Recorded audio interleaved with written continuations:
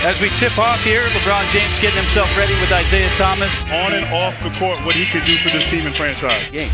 And during this time of season, I think you can do those things. You can try and figure that out.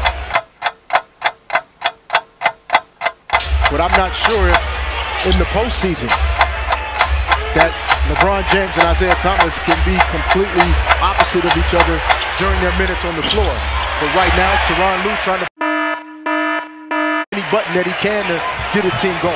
Another fast break opportunity. Stanley Johnson bobbles it. He was looking to pass. Points in the paint. I agree. LeBron works on Tolliver. Has the whole right side of the floor to himself. Steps back. That one off. Rebound Drummond. And again, Stanley Johnson aggressive.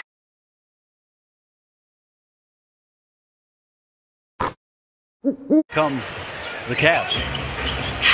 Isaiah hesitation. Misses the right hand layup.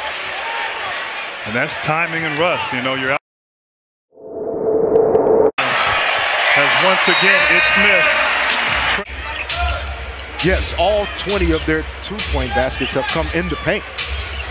Which typically you want teams to shoot non-paint twos, but the Pistons with 40 points in the paint already, a season high in any half, G here. It's Smith to finish. It's Smith